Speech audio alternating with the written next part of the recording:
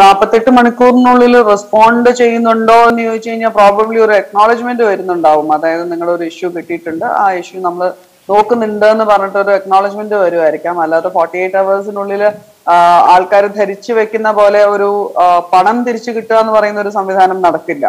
അത് ഇതുവരെ നടന്ന് കണ്ടിട്ടില്ല. അത് ഈ പറഞ്ഞ പോലെ ആദർശ് പറഞ്ഞ പോലെ ബാങ്കിന്റെ റിലേറ്റഡ് ആയിട്ടുള്ള ഒരു ഫ്രോഡ് മാത്രമല്ല ഇപ്പൊ കോവിഡ് സമയത്ത് കണ്ടതിൽ ഏറ്റവും കൂടുതലായിട്ട് നമ്പേഴ്സ് കൂടുതൽ നമ്മുടെ എൻ ജി ഒയിൽ പോലും വന്നിട്ടുള്ളത് ലോൺ സ്കാംസ് ആണ്. അതായത് പ്ലേ സ്റ്റോറിൽ നിന്ന് അല്ലെങ്കിൽ മറ്റ് ലിങ്കുകൾ വഴി ഡൗൺലോഡ് ചെയ്യുന്ന ചില ലോൺ ആപ്ലിക്കേഷൻസ് ഇപ്പൊ രണ്ടായിരം രൂപ എമർജൻസി ലോൺ അല്ലെങ്കിൽ ഇൻട്രസ്റ്റ് ഫ്രീ ലോൺ പതിനായിരം റുപ്യ interest free loan pre approved loan മുപ്പതിനായിരം റുപ്യ എന്നൊക്കെ പറഞ്ഞിട്ടുള്ള ലിങ്ക് വരിക. ആ ലിങ്കിൽ ക്ലിക്ക് ചെയ്യുമ്പോൾ ഒരു ആപ്പ് ഡൗൺലോഡ് ആവുക. ആ ആപ്പ് ഡൗൺലോഡ് ആയിട്ട് ആ ആപ്പ് കൂടെ പേയ്മെന്റ് ചെയ്യുക. അപ്പൊ ആദ്യം ഈ ലോൺ രണ്ടായിരം റുപ്യ ലോൺ സാങ്ഷൻ ആയി എന്ന് പറയുമ്പോൾ അവർ ചിലപ്പോൾ എയ്റ്റ് ഹൺഡ്രഡ് റുപ്പീസ് ഇങ്ങോട്ട് അയക്കും. അയക്കുമ്പോൾ പറയുന്നത് ടൂ തൗസൻഡ് റുപ്പീസ് നിങ്ങളുടെ ലോൺ എമൗണ്ട് ആണ്. അതിന് ഇന്ന ചാർജസ് ആ ചാർജസ് ഒക്കെ പറഞ്ഞിട്ട് മൈനസ് എയ്റ്റ് ഹൺഡ്രഡ് ഞങ്ങൾ അങ്ങോട്ട് അയച്ചു തന്നിട്ടുണ്ട്.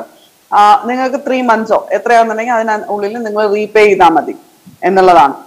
അത് കഴിഞ്ഞിട്ട് ഒരു വൺ വീക്കിനുള്ളിൽ തന്നെ they start getting blackmailing calls വരും. അവർക്ക് അവർക്ക് അവരുടെ വാട്സാപ്പിൽ ഉണ്ടായിരുന്ന കോൺടാക്ട്സിന് മുഴുവനും ഇവരെ പറ്റി അബ്യൂസീവ് ആയിട്ടുള്ള മെസ്സേജസ് പോവുക ഇവരുടെ ഫോട്ടോ മോഫ് ചെയ്തിട്ട് മോഫ് എന്നൊന്നും പറയാൻ പറ്റില്ല. എഡിറ്റ് ചെയ്ത ഫോട്ടോസ് ഒക്കെ വെച്ചിട്ട് അവർക്ക് വേണ്ടാത്ത മെസ്സേജസ് പോവുക. ആധാർ കാർഡിന്റെ ഫോട്ടോ വെച്ചിട്ട് ഈ ആധാർ കാർഡിൽ നിങ്ങളുടെ ഫ്രണ്ട് ഫ്രോഡാണ് ലോൺ എടുത്തിട്ട് തിരിച്ചടയ്ക്കാത്ത ആളാണ് എന്നൊക്കെ പറഞ്ഞിട്ടുള്ള കുറെ മെസ്സേജസ് പോകും അപ്പൊ അങ്ങനെ വരുന്ന സമയത്ത് ഈ എയ്റ്റ് ഹൺഡ്രഡ് റുപ്പീസ് തിരിച്ചയക്കാൻ പറയും. അപ്പൊ ഈ എയ്റ്റ് ഹൺഡ്രഡ് റുപ്പീസ് പലരും തിരിച്ചയക്കും. വാങ്ങിച്ച പൈസയാണല്ലോ എന്ന് തിരിച്ചയക്കും. രണ്ടു ദിവസം കഴിയുമ്പോൾ നിങ്ങൾ രണ്ടായിരം റുപ്യയിൽ അടുത്ത ഇൻസ്റ്റാൾമെന്റ് വൺ തൗസൻഡ് റുപ്പീസ് അയക്കാൻ ബാധ്യസ്ഥരാണെന്ന് പറയാം. അങ്ങനെ എണ്ണൂറ് രൂപ ഇങ്ങോട്ട് കിട്ടിയിട്ട് വിതിൻ വീക്സ് തന്നെ രണ്ടോ മൂന്നോ ആഴ്ചക്കകം തന്നെ എണ്ണായിരവും പതിനായിരവും തിരിച്ചു കൊടുത്ത ആൾക്കാരെ നമുക്ക് അറിയാം. അപ്പൊ ഇത്തരം കാര്യങ്ങൾ ചെയ്യുന്ന സമയത്തുള്ള ഏറ്റവും വലിയ ഇഷ്യൂ എന്താ വെച്ചാൽ ആ, ആപ്ലിക്കേഷൻ നമ്മൾ ഡൗൺലോഡ് ചെയ്ത് ആപ്ലിക്കേഷൻ ഇൻസ്റ്റാൾ ചെയ്യുമ്പോൾ ആ ആപ്ലിക്കേഷൻ വഴി നമ്മുടെ ഫോണിലേക്ക് അവർ കയറി വരികയാണ്. അവർ ഒരു സ്പൈവെയർ പോലെ ഇൻസ്റ്റാൾ ചെയ്ത് കയറി വരികയാണ്.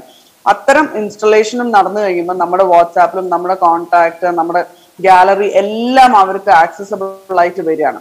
അങ്ങനെ ആക്സസ് ചെയ്ത് കഴിയുമ്പോൾ അവർക്ക് നമ്മുടെ കോൺടാക്ട്സ് എല്ലാം കിട്ടുകയാണ്. പിന്നെ അവരുടെ സ്വാതന്ത്ര്യമാണ്. പിന്നെ നമ്മൾ തന്നെ അവർക്ക് നമ്മുടെ ലോൺ പ്രോസസ് ചെയ്യാൻ വേണ്ടി കൊടുക്കുന്ന ഡോക്യുമെന്റ്സ് വേറെ ആധാർ കാർഡ് ആണെങ്കിലും പാൻ കാർഡ് ആണെങ്കിലും മറ്റ് ഐ ഡി കാർഡ്സ് ആണെന്നുണ്ടെങ്കിലും ബാങ്ക് അക്കൗണ്ട് ഡീറ്റെയിൽസ് ആണെങ്കിലും ഒക്കെ നമ്മൾ തന്നെയാണ് ടൈപ്പ് ചെയ്ത് കൊടുത്ത കൊടുക്കുന്നത് അപ്പൊ അങ്ങനെ നമ്മളായിട്ട് കൊടുക്കുന്ന കുറെ ഡേറ്റ ഉണ്ട്. അങ്ങനെ ഒരുപാട് കുറച്ച് ചെറിയ പൈസ മുതൽക്ക് വലിയ തുകകൾ വരെ നഷ്ടപ്പെട്ടിട്ടുള്ള ഇഷ്യൂസ് നമുക്ക് ഈ കോവിഡിന്റെ സമയത്ത് കണ്ടു വന്നിട്ടുണ്ട്. അപ്പൊ അത്തരം ലോൺ ആപ്സിനൊക്കെ ഉള്ള ഒരു ഏറ്റവും വലിയ ഇഷ്യൂ എന്താ വെച്ചാൽ ഇതൊന്നും ആർ ബി ഐയുടെ പരിമിതിയിൽ വരുന്ന ഒരു കാര്യമേ അല്ല. അങ്ങനെയൊന്നും ലോൺസ് കൊടുക്കാനോ ഫിനാൻഷ്യൽ ട്രാൻസാക്ഷൻസ് നടത്താനോ ഉള്ള അധികാരം എവിടെയും ഇന്ത്യയിൽ എവിടെയും അങ്ങനെ ഒരു സംവിധാനം ഇല്ല പാടില്ല എന്നുള്ളതാണ്. അപ്പൊ അത്തരം ഓർഗനൈസേഷന്റെ അഗേൻസ്റ്റ് നിയമ നടപടികൾ എടുക്കുക എന്ന് പറയുന്നത് തന്നെ വളരെ ചാലഞ്ചിങ് ആയിട്ടുള്ള ഒരു വിഷയമായിട്ട് വരികയാണ്. ഇനി ഇവർ ഹോൾഡ് ചെയ്യുന്ന ബാങ്ക് അക്കൗണ്ടിലേക്ക് പോവുക. ആ ബാങ്ക് അക്കൗണ്ടിൽ നിന്ന് ഇപ്പൊ ഞാൻ ഇവിടുന്ന് അങ്ങോട്ട് പൈസ അയച്ചു കൊടുത്തു. ആ അയച്ചു കൊടുത്തത് ലാൻഡ് ചെയ്യുന്ന ഒരു ബാങ്കിലേക്കായിരിക്കും ഒരു ബാങ്ക് അക്കൗണ്ടിലേക്കായിരിക്കും ആ ബാങ്ക് അക്കൗണ്ടിൽ പോയി അന്വേഷിക്കുമ്പോഴേക്കും വിതിൻ സെക്കൻഡ്സ് തന്നെ അവിടെ പോയ പൈസ മുഴുവനും എവറി അവർ വേറെ വേറെ വേറെ വേറെ മൾട്ടിപ്പിൾ ബാങ്ക്സിലേക്ക് ട്രാൻസ്ഫർ ആയിട്ട് പോവാം. ഇതൊക്കെ ഇന്ത്യയിലെ പല സ്ഥലങ്ങളിൽ നിന്നിട്ട് ട്രാൻസാക്ട് ചെയ്യാം. അപ്പൊ പോലീസിനും എന്താ പറ്റുന്ന വെച്ചാൽ ഇൻവെസ്റ്റിഗേറ്റ് ചെയ്ത് അവിടം വരെ പോയി അന്വേഷിക്കാനുള്ള ഒരു ജൂറിസ്ഡിക്ഷണൽ ഇഷ്യൂസ് വരിക പിന്നെ അതേസമയം ട്രാവൽ ഇഷ്യൂസ് വരിക ചാലഞ്ചിങ് ആയിട്ട് അവിടുത്തെ ലോക്കൽ പോലീസ് അല്ലെങ്കിൽ അവിടുത്തെ ബാങ്കിന്റെ ലോക്കൽ ബാങ്ക് ബ്രാഞ്ചസ് എന്നുള്ള ഒരു ചാലഞ്ചസ് വരാം. ഇതൊക്കെയാണ് പ്രാക്ടിക്കലായിട്ട് നമുക്ക് ഫേസ് ചെയ്തിട്ടുള്ള ഇഷ്യൂസ് ആയിട്ട് പലപ്പോഴും പോലീസിന്റെ അടുത്തുള്ള ഡിസ്കഷൻസ് ആയിട്ടും അല്ലെങ്കിൽ അവർ വരുന്ന ഗ്രീവിയൻസ് ആയിട്ടും വന്ന് കണ്ടിട്ടുള്ളത്. ഇത് തന്നെയാണ് നമ്മളിപ്പോ ബാങ്കിൽ നിന്ന് വരുന്ന ഒരു കോൾ അല്ലെങ്കിൽ ബാങ്കിൽ നിന്ന് വരുന്ന ഒരു ഇഷ്യൂ ആയിട്ടും വരുന്നത്. ആദർശ് പറഞ്ഞ പോലെ ഒരു ബാങ്കിന്റെ ബാക്ക് എൻഡിൽ നിന്ന് പോകുന്ന ഡേറ്റ ലീക്കേജ് ആവണം എന്ന് ഒരു നിർബന്ധവും ഇല്ല. ബാങ്ക് ആയിട്ട് എലൈറ്റ് സർവീസസ് നടത്തുന്നത് തേർഡ് പാർട്ടി സർവീസസ് നടത്തുന്ന ഒരുപാട് ഓർഗനൈസേഷൻസ് ഉണ്ട്.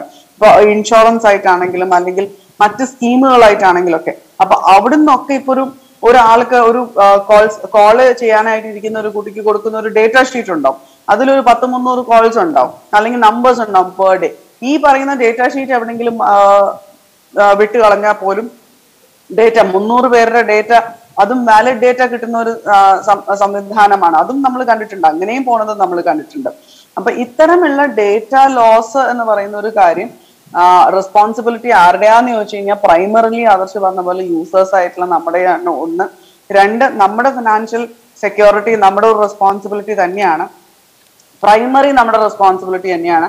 അതുകൊണ്ട് ഇത്തരം അറിയാത്ത ലിങ്കുകളിൽ ക്ലിക്ക് ചെയ്യുക അറിയാത്ത വിധത്തിലുള്ള സംവിധാനങ്ങൾ വെറുതെ ഇൻട്രസ്റ്റ് ഇല്ലാത്ത നമ്മളെ നന്നാക്കാൻ ഒരാളും വരുന്നില്ല എന്നുള്ളത്. വേറെ നോ ഫ്രീ ലഞ്ചസ് എന്നുള്ളത് ഡെഫിനറ്റ് ആയിട്ട് നമ്മൾ ആലോചിച്ച് ചിന്തിക്കേണ്ട കുറച്ച് കാര്യങ്ങൾ തന്നെയാണ്.